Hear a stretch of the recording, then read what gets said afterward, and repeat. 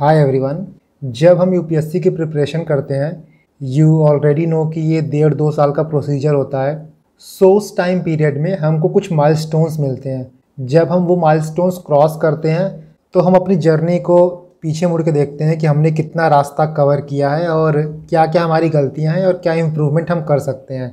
जैसे for example अगर आप 2024 की तैयारी कर रहे हो तो 2023 के प्री का रिज़ल्ट आ जाएगा। उस टाइम पे आपको एक रियलाइजेशन होगा। इसके बाद जो सेकंड माइलस्टोन आता है, वो मेंस का एग्ज़ाम ख़त्म होने के बाद आता है। तीसरा होता है कि जब दिवाली बीत जाती है, तब ऑलमोस्ट लगता है कि ये साल तो निकल गया है, अब हम नेक्स्ट ईयर में एंटर करने वाले हैं।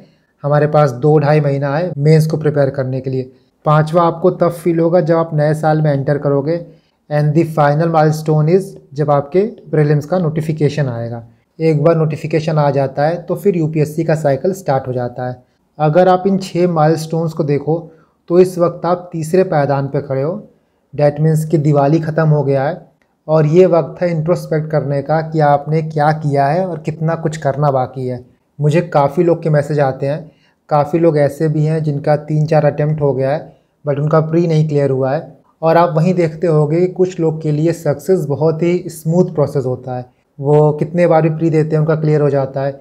इवन आप ये भी देखोगे कि 2023 का जब फाइनल रिज़ल्ट आएगा उसके बाद जिनका नहीं होगा, वो फिर से 2024 का एग्ज़ाम देंगे। वहाँ भी काफ़ी लोग प्री क्लियर कर लेंगे। एंड आई थिंक कि उनको मुश्किल से एक हफ़्ता, दो हफ़्ता या तो बहुत ज़्यादा हुआ तो तीन हफ़्ता मिलता है। जब वो क्लियर कर सकते हैं तो आपके पास अभी तो छः से सात महीना बाकी है।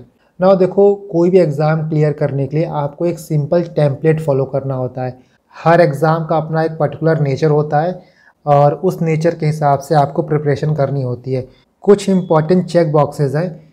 जिनको अगर आप टिक कर देते हो देन मैं आपको 100 परसेंट श्योरिटी से कहता हूँ कि आपका प्री बिल्कुल नहीं रुकेगा। बट उन चीज़ों को आपको फॉलो करना होगा। बिकॉज़ आप प्री को देखो तो there is no means without pre अगर आपका प्री नहीं क्लियर होगा तो आपके पास कुछ बचेगा नहीं। और आपका प्री क्लियर हो जाता है तो आपको बहुत कुछ मिलता नहीं है। प्री के बाद आपको मेंस देना होगा मेंस के बाद आपको इंटरव्यू देना होगा। लेकिन जो ये प्रीलिम्स का स्टेज है ना, इसको क्लियर करना आपके लिए बहुत इंपॉर्टेंट हो जाता है। आपकी कॉन्फिडेंस बिल्डिंग के लिए बहुत इंपॉर्टेंट हो जाता है। मेंस क्लियर हो या ना हो इंटरव्यू क्लियर हो या ना हो, वो बात की बात है।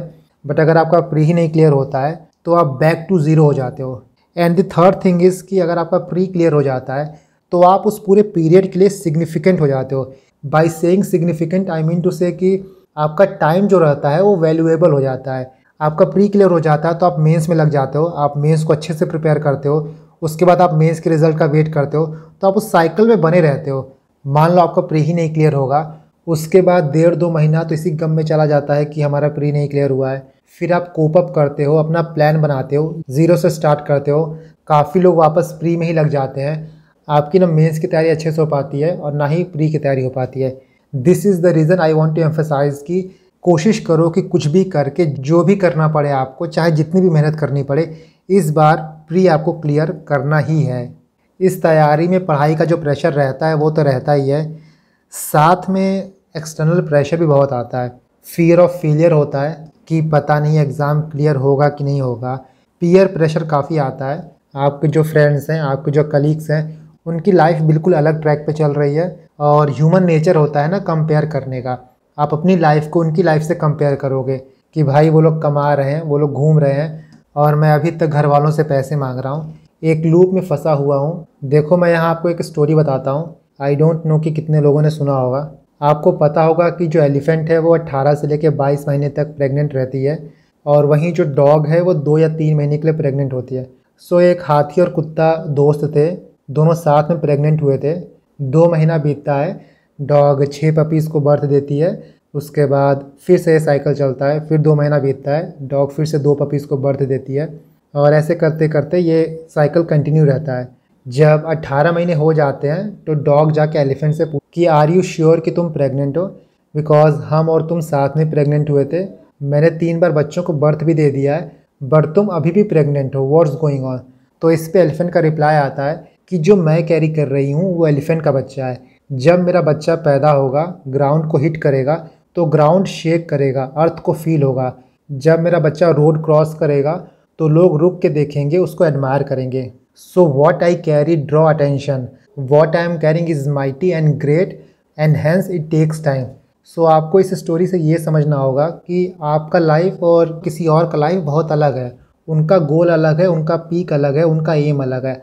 आपका पीक डिफरेंट है, आपका एम्बिशन डिफरेंट है। जो चीज़ आप कर रहे हो, उसमें आपको बहुत सेक्रीफाइस देना होगा। But at the end it's all worth it preparation के फ़ेज़ में दो टाइप के लोग आपको मिलेंगे। कुछ लोग तो ऐसे होंगे जो आपको बोलेंगे कि भाई तुमसे ना हो पाएगा, तुम क्या कर रहे हो? और कुछ लोग ऐसे भी होंगे जो आपके सूडो वेलविशर होंगे। जैसे रिज़ल्ट आएगा, तुरंत आपको फ़ोन करके आपका रिज़ल्ट पूछने लगेंगे। इवन तो उनको पता होगा कि आपका नहीं हुआ है बट फिर भी सिर्फ़ मज़ा लेने के लिए। आपको इस प्रिपरेशन के फ़ेज़ में इन दोनों टाइप के लोगों से दूर रहना है। बिकॉज़ ऐसे क्वेश्चन से क्या होता है? कुछ एक्सपीरियंस का ईगो हट होता है एंड कुछ का मोराल हट होता है। भले ही एक भी दोस्त ना रहें बट ऐसे लोग ना रहें आपकी लाइफ में। नाउ देखो, जिन टैंपलेट्स की मैं बात कर रहा हूँ आई नो कि सबको ये चीज़ें पता है but I can assure you कि बहुत ही कम लोग हैं, बहुत ही मिनिस्क्यूल नंबर है, जो इस चीज़ को लेटर एंड स्पिरिट में इम्प्लीमेंट करते हैं।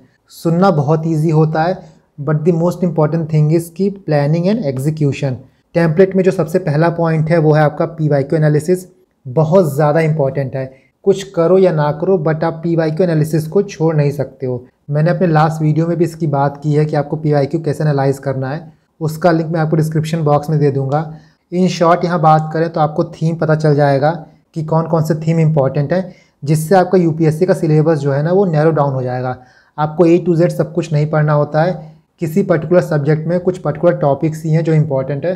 और यूपीएससी बार बार घुमा फिरा के उन्हीं चीज़ों से क्वेश्चन पूछता है। 2023 में ऑप्शंस जो थे वो डिफ़िकल्ट कर दिए थे बट जो थीम्स था ना, वही सेम थीम्स था जो यूपीएससी पूछते आ रहा है। मैंने लास्ट ईयर सारे सब्जेक्ट के जितने रिपीटेड थीम थे उनको एनालाइज़ किया था। यू कैन सी ये जोग्राफी का थीम वाइज एनालिसिस है। मैं इस ईयर भी एनालिसिस करूँगा। बहुत ज़्यादा चेंज नहीं आएगा। बस 2023 का ऐड हो जाएगा। ये जोग्राफी का हो गया। इसके बाद यू कैन सी ये आर्ट एंड कल्चर का है। इसी तरह मैंने हिस्ट्री का पॉलिटी का सबका एनालिसिस किया है। मैं सारे पीडीएफ को टेलीग्राम पे डाल दूँगा and you can download it from there now जब भी आप पी वाई क्यू का एनालिसिस करो, आपको क्वेश्चन के जो इंपॉर्टेंट कॉन्सेप्ट हैं, जो इंपॉर्टेंट फैक्ट्स हैं, उनके नोट्स प्रिपेयर करने बहुत इंपॉर्टेंट है। बहुत ज़्यादा नोट्स नहीं बनेगा, मुश्किल से 12-15 पेज का नोट्स बनेगा। और आपको वही फैक्ट्स लिखने हैं जो आपको अपने स्टैटिक नोट्स में नहीं मिलते हैं।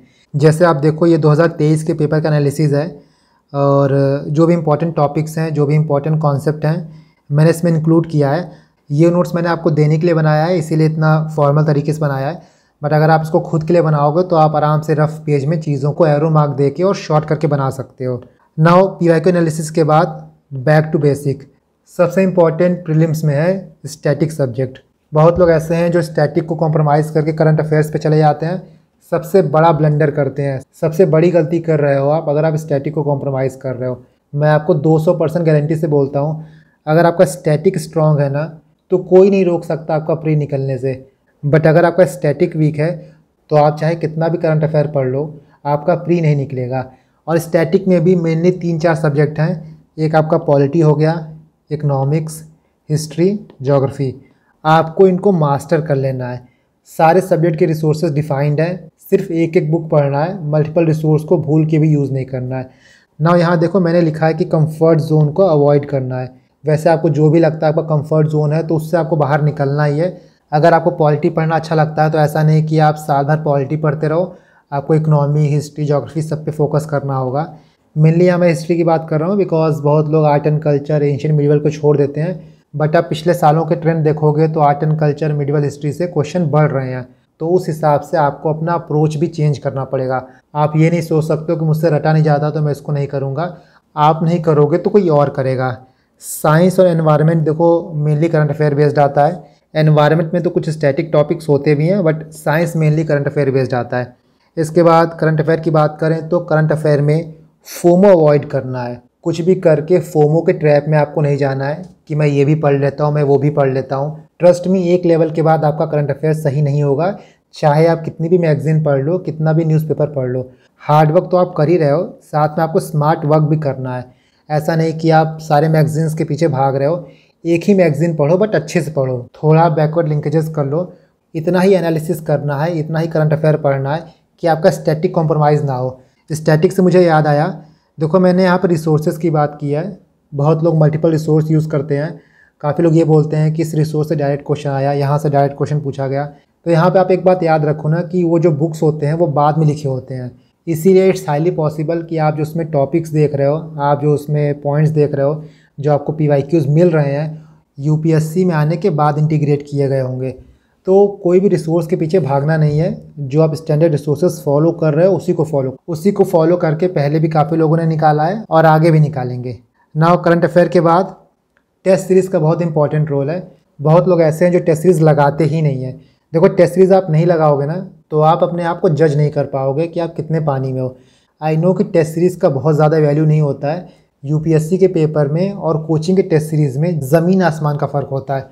बट फिर भी टेस्ट सीरीज़ लगाने से एटलीस्ट आपको ये पता होता है कि जो चीज़ें आप पढ़ रहे हो, उसको आप एग्ज़ाम में अप्लाई कर पा रहे हो कि नहीं कर पा रहे हो। और कभी भी राइट टाइम नहीं आएगा कि जब आप टेस्ट सीरीज़ के लिए हंड्रेड परसेंट तैयार हो जाओगे। हमेशा आपको ये लगेगा कि मैं हंड्रेड परसेंट तैयार हो जाता हूँ, मैं इसको रिवाइज़ कर लेता हूँ, उसको रिवाइज़ कर लेता हूँ, फिर टेस्ट सीरीज़ देता हूँ तो वो दिन कभी नहीं आता है। आप टेस्ट सीरीज़ उठाओ, देना स्टार्ट करो बिकॉज़ एनी विच पे आपको मेन एग्ज़ाम में तीस पैंतीस क्वेश्चन से ज़्यादा आएगा नहीं। तो जो रियल क्वेश्चन आपको आता रहेगा, वो तीस पैंतीस रहेगा। इसके बाद दस बारह क्वेश्चन ऐसे होंगे जिनमें आपको कोई आइडिया नहीं रहेगा। बचे हुए जो चालीस पैंतालीस क्वेश्चन हैं जितनी पढ़ाई पढ़ी है आपने इसको सॉल्व करने में लगता है। सो so, कोई भी राइट टाइम होता नहीं है कभी भी आप हंड्रेड परसेंट प्रिपेयर नहीं होते हो और इसी चक्कर में आप टेस्ट सीरीज़ को अवॉइड करते रहते हो तो वो चीज़ नहीं करना है। टेस्ट सीरीज़ में भी आप फुल लेंथ टेस्ट को प्रायोरिटी दो एक एक सेक्शनल लगा सकते हो बट मेजॉरली आप एफ़ लगाओ बिकॉज़ एफ़ में आप ओवरऑल चेक होते हो। एक वक्त आप पॉलिटी क्वेश्चन टैकल कर रहे होते हो जस्ट थोड़ी देर बाद हिस्ट्री आ जाता है फिर इकोनॉमिक्स आ जाता है तो आपको अपने ब्रेन को वैसे प्रिपेयर करना होता है स्विच करने के लिए। नेक्स्ट, टेस्ट सीरीज़ करने के बाद उसका एनालिसिस करना बहुत इंपॉर्टेंट है। आप अगर एनालाइज नहीं कर रहे हो तो टेस्ट सीरीज़ लगाने का कोई फ़ायदा ही नहीं है। एनालाइज करो कि गलतियाँ कहाँ हो रही हैं और वो सिली मिस्टेक्स जो है ना, वो नहीं करना है। आई नो मल्टीपल कैंडिडेट्स बहुत से ऐसे डिज़र्विंग कैंडिडेट हैं, जिनका लास्ट ईयर सिली मिस्टेक की वजह से ही प्री क्वालिफाई नहीं हुआ।